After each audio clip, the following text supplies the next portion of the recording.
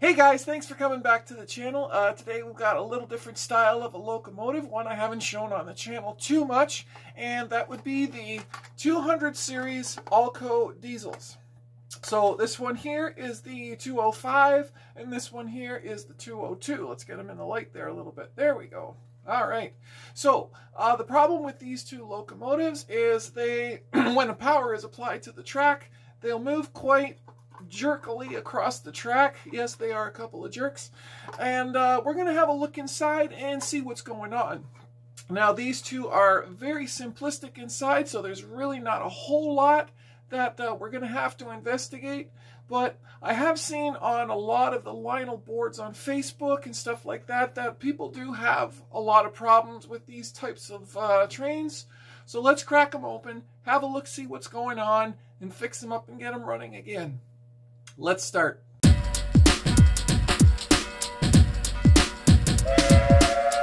So here we are back at the bench. We got a test track set up. We've got the 205 and the 202 uh, Alco diesels ready to put on the track just to see what it is they're actually doing.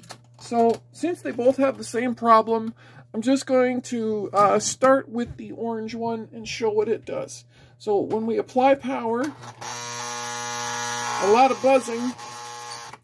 Switch direction. Nothing. Not even really moving. Oh, there we go.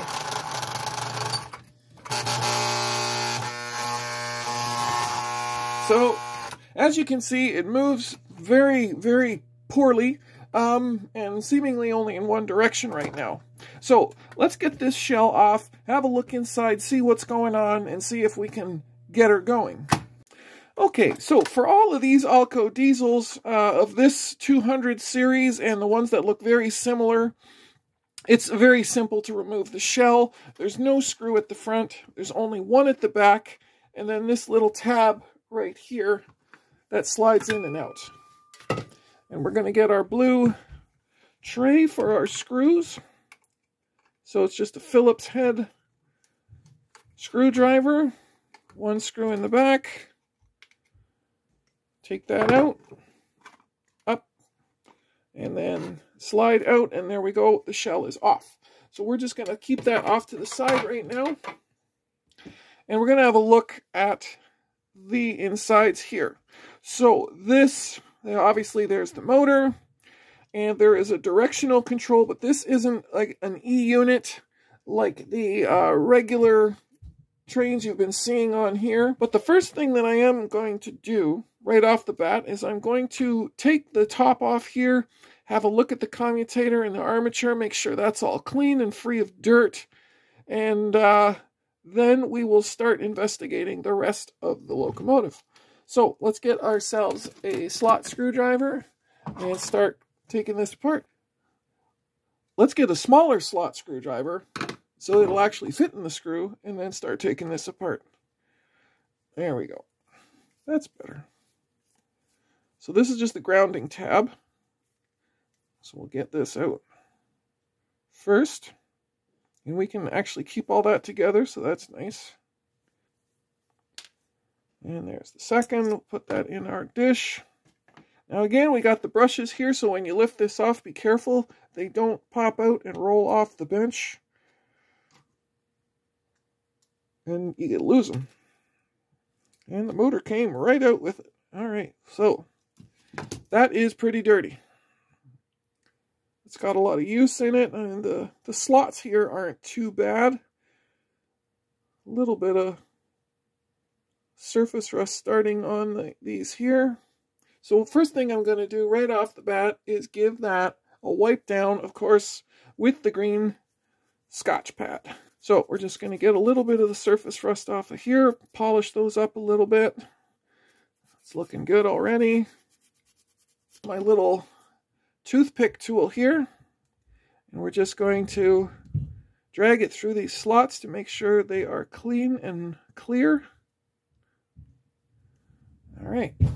So right away too, what I'm noticing when I took this motor out, there's no grease on this at all. And I'm going to have a look down in here. There's our brushes. I'll just pull those out so I don't lose them.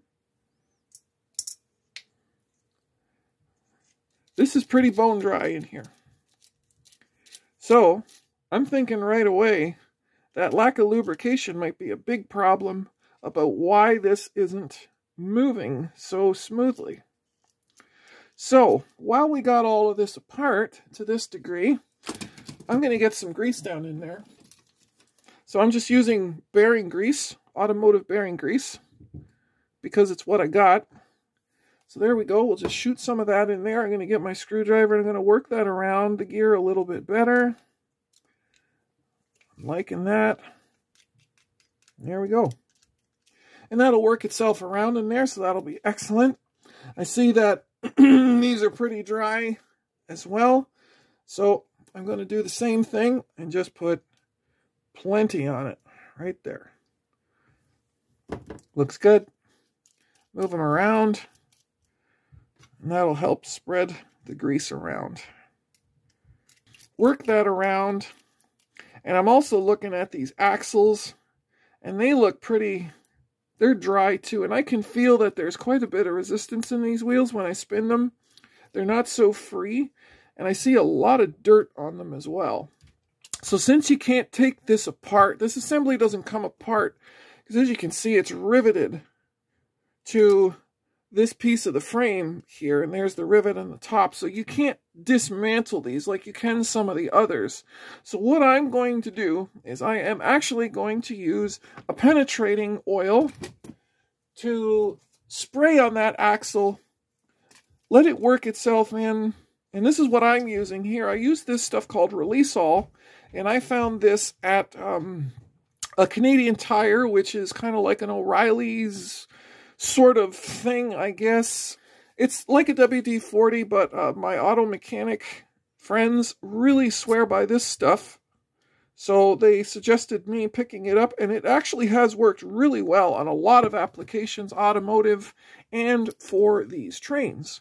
So I'm just going to shoot some of this in here.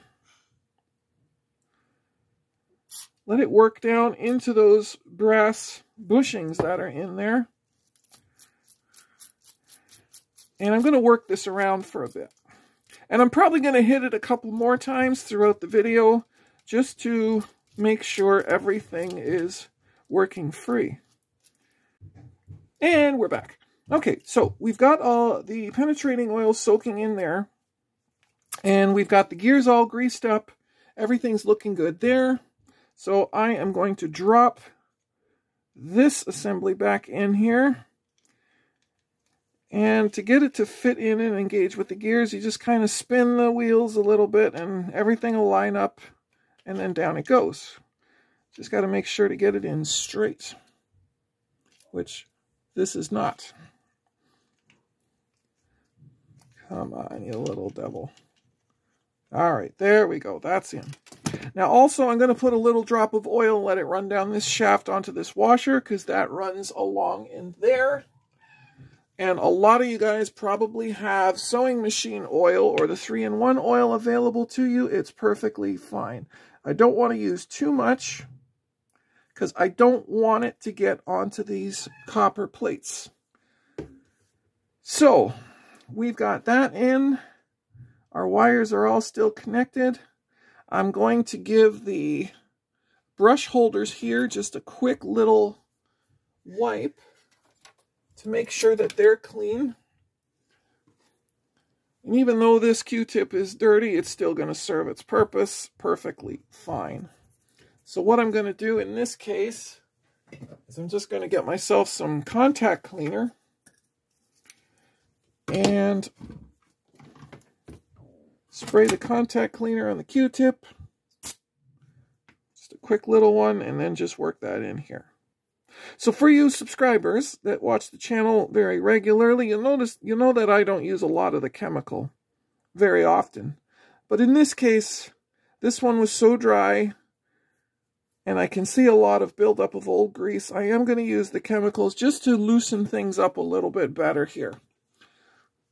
I don't usually put this much oil on the stuff either, but once again, it's all just because it was really dry. It clearly hadn't been lubed in quite some time.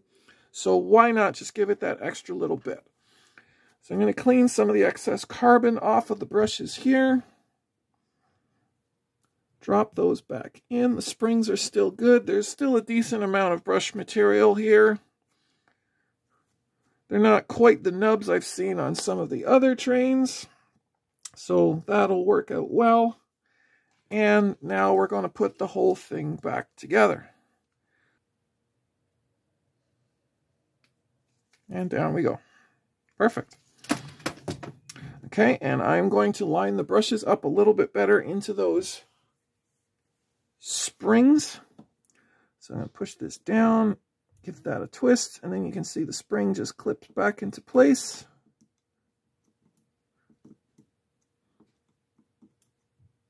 And there we go. So now I'm going to start putting this back together. One, and here's the other. There we go. Okay. So that's all clean and that's back together. Now I'm not worried about this motor at all.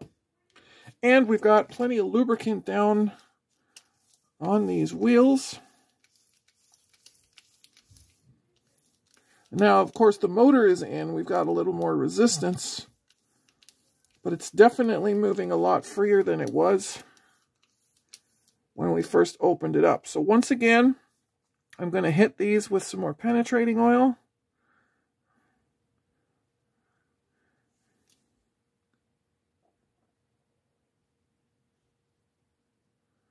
That, just let that soak in real good. Also work it in with my hands. So we get this part here. Don't forget that one. So this one's going to be quite oily right off the bat. It's going to kick a lot of oil around, but that's okay. We can always wipe off the excess. It seems to get hung up at one spot too. The gears all looked fine. There's no missing teeth, so I'm not sure what's up with that. All right, let's wipe off a little bit of the excess. And just for fun, let's throw this on the track as it is without doing any more to it and see if that has made any bit of difference. All right, so we have our Lionel Union Pacific 202. Uh, we've just cleaned out the motor, cleaned out the brushes, the brush holders, and we have applied some fresh grease onto these gears. Let's put it on the test track and see if that has made any bit of improvement on how this runs. Still no movement there.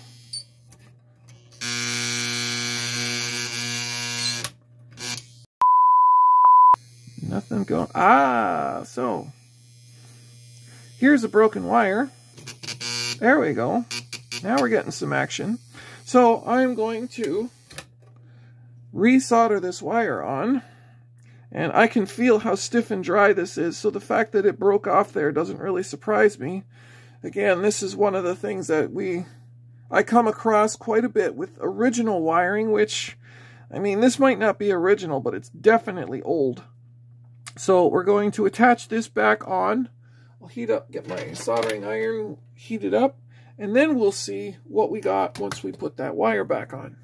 So while we're waiting for the soldering iron to heat up, we're going to have a word from our sponsor. Yes, I finally have a sponsor, and today's sponsor is me.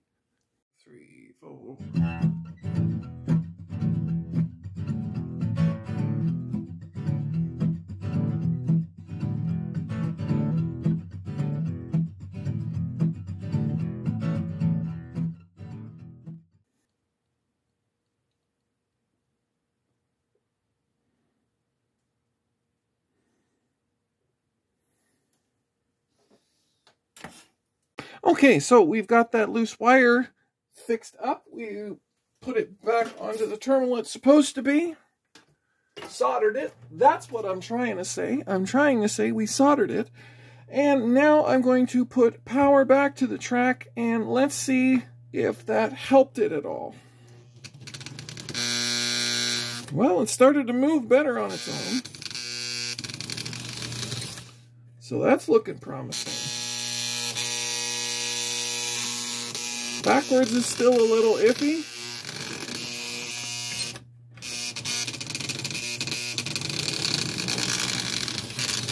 The forward's working much better. So as you can see, just by adding a little bit more grease and um, putting some penetrating oil on these axles, it has already freed it up quite a bit, at least to allow it to move in the forward motion. So what I'm going to do too is I'm going to have a look at this direction unit. It's looking pretty good. It's pretty clean. I don't see any issues with it. But maybe it wouldn't hurt to hit it with a little bit of contact cleaner, free that up a little bit, and once again, I'm going to put some more penetrating oil on these axles, make sure this stuff is really getting in there, and loosening up all of that, because I really think that was the problem. This had just dried out and the motor just can't move it anymore. A little more penetrating oil.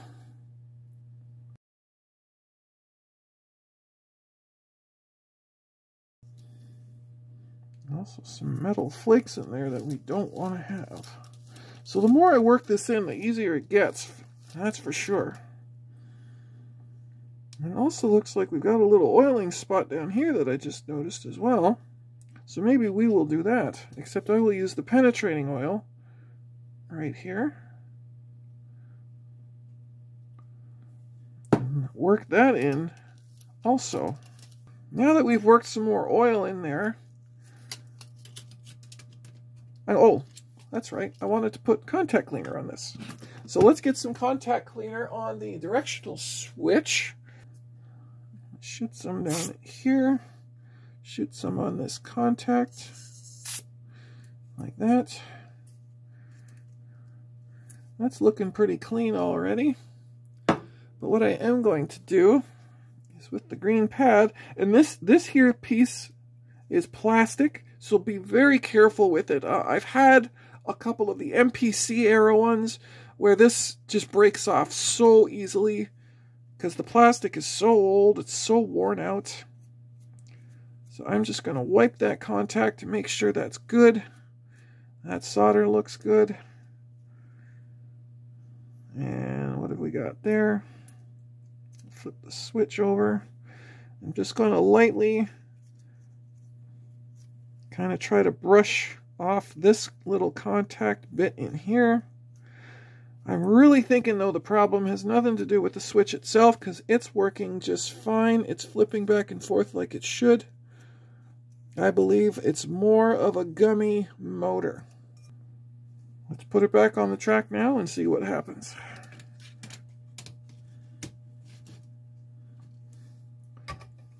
All this stuff out of the road.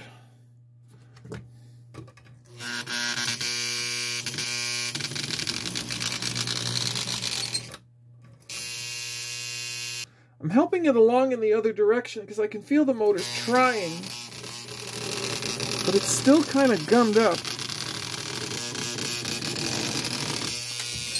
So what I'm going to do is I'm going to take the motor apart one more time, have a look at what's going on inside here, and uh, maybe put some more grease down in the main shaft because maybe it just doesn't have enough. And then we'll throw her back on the track again and see if that makes any difference. Because really, it's getting power. The power is getting to the motor. That's no problem. It's just the motor can't move the wheels. So that is really telling me that the problem is all back here.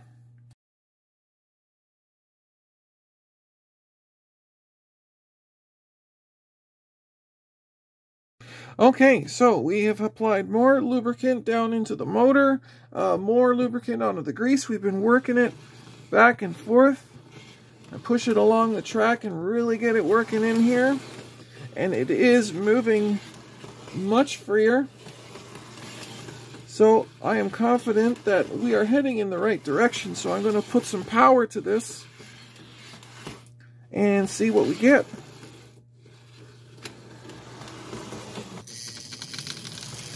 Right away. Still the reverse is the problem here. So I'm feeling that as as I apply power in the reverse direction and I push down on the motor itself, that little bit of help helps it move much freer.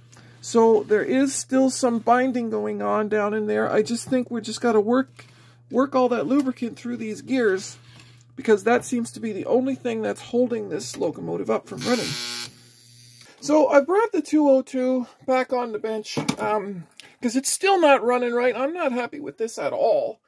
Uh, I don't know if it's just a terrible motor because these things are so cheap or, or what. Um, there's no obstructions anymore underneath. It's well lubricated.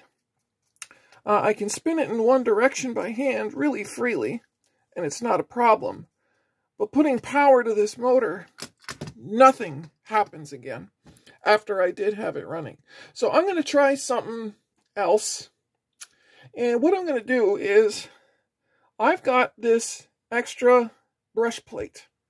And this is actually the same type that was on here. And I'm going to put this one on. I'm going to swap these two out and see if that makes a difference at all.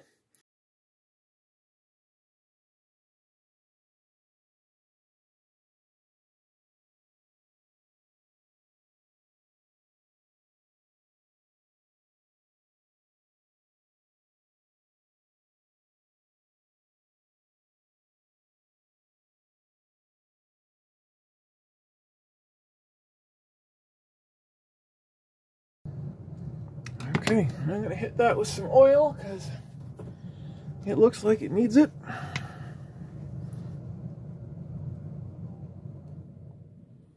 And there. And a little bit there. Let's get that track back, put some power to it, see what happens. Got the transformer hooked up. We've got our new brush plate back on.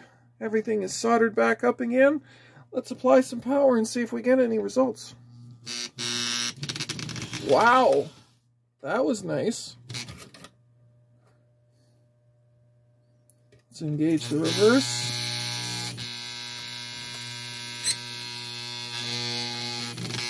Still doesn't like reverse.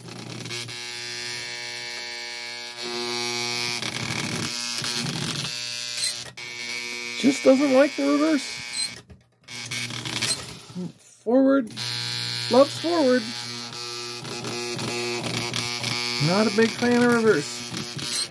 I'm going to take it off the track and apply some power to it. I'm just curious to see if it does anything different if it's not under a load on the track.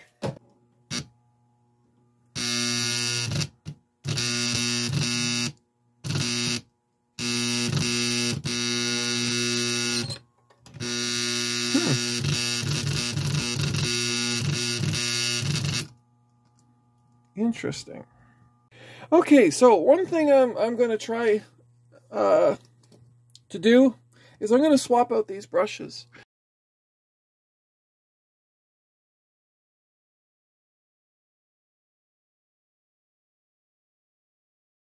Moment of truth. What do we got? We got nothing because my wire became unhooked. What do we got?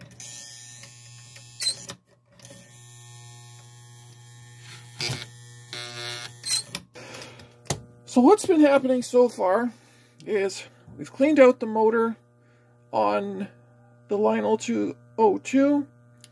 We have replaced actually this whole cover.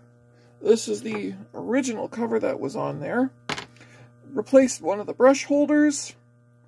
Obviously I had to resolder everything. Um, everything's been lubed. Everything's been freed up. We've checked the two position um, reverse unit. And still, when we put this on the track, it just won't go. But off the track, it does. However, I did find something that might be a key to this problem. So if we're if we apply the power right away, you can see it's trying, but it just can't get itself moving. However, I'm going to apply some pressure to this piece here. And what this is, is the actual shaft, the whole armature commutator part, pivots right in here. And see the difference when I apply some pressure on this, and I'm going to push a little bit up and over, okay? And you'll see what happens with it.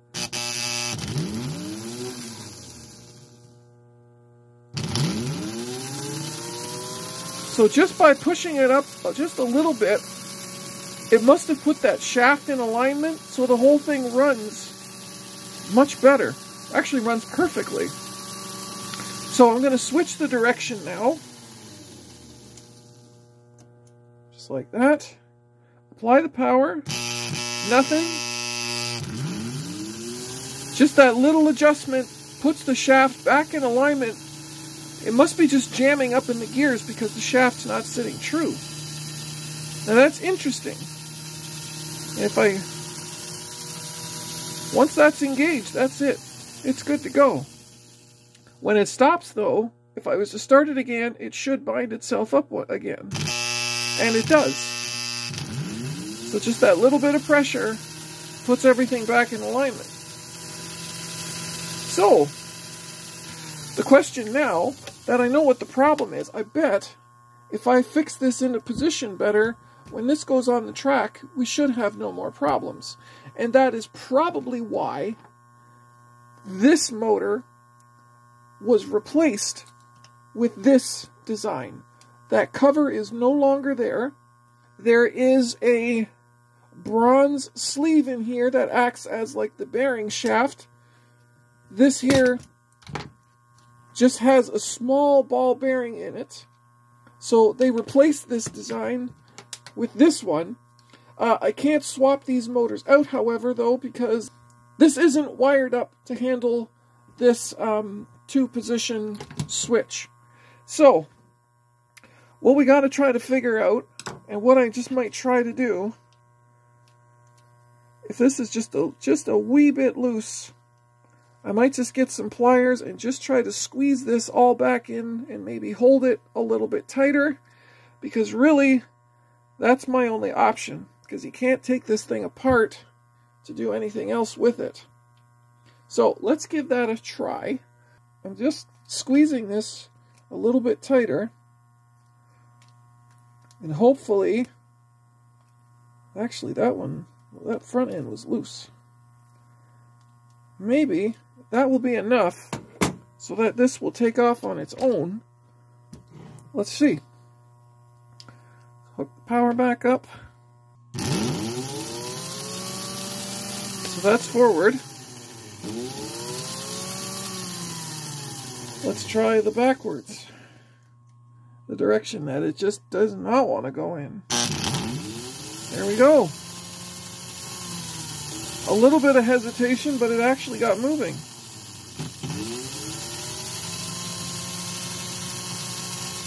So, maybe by tightening up this bottom, we have actually solved the problem. Let's try it one more time.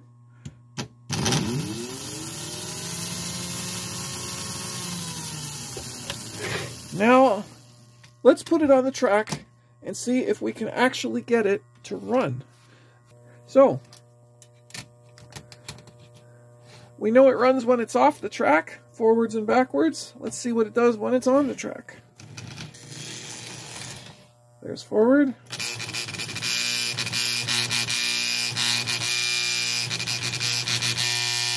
Not being in alignment, and it's jamming itself up in there.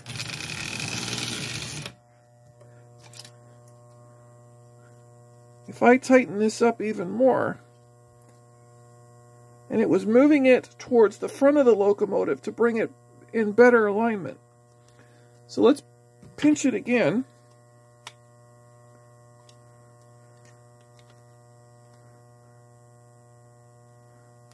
Hold it in place a little bit better here without cracking it. That would be not good. Counterproductive, I would say. Tightened up a little bit more. Let's see if that helped even more. And it did.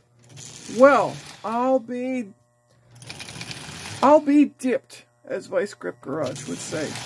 We have it fixed. Smooth as butter. Look at that. No problem at all. So, the whole problem boiled down to this cover being loose and the shaft running in the motor being offset and jamming itself and not being able to run. So now I can put the shell back on. Now I can say that this job is complete and is a success. And we will have a perfectly functioning 202 Alco Union Pacific.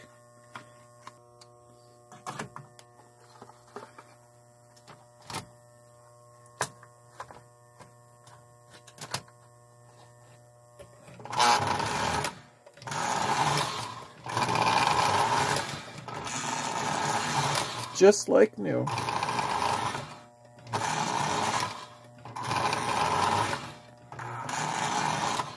All right, guys, so that is it. It's fixed. That was the fix for it. Centering the uh, lower brace bracket holder, whichever, for the, the armature shaft to ride in. And all is good with this Union Pacific's world. So, so we're going to run 202 around a couple laps, then we're going to switch it up, put 205 on. 205 was another successful um, repair. Uh, not the same alignment issue as this one, but definitely a dried out set of gears. Lack of lubricant is what kept him from going. So let's just fire this guy around the track and see how well he fares.